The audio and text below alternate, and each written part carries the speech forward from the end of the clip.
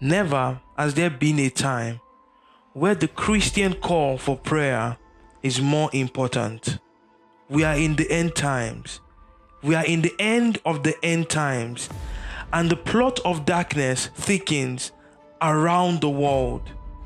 And God is counting on the Christian, God is counting on the church to rise up as the light in the world to repel the darkness.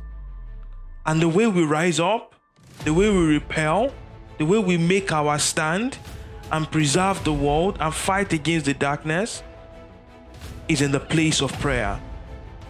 It is through prayer that we exercise God's authority on the earth. The Bible says that the fervent prayer of the righteous avails much. I believe that it avails the power to create the change that God wants to see happen on the earth.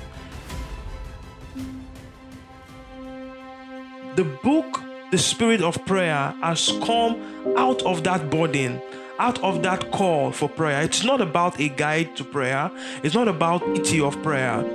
It is in that place of prayer that we would effect change and to know that if we do not pray, the changes that we want to see happen will not happen and darkness will continue to rule. It is time for us to rise up as a church and pray.